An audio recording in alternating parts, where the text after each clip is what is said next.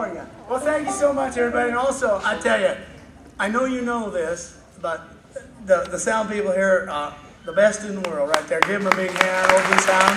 It's been my pleasure working with them. They're my friends. They're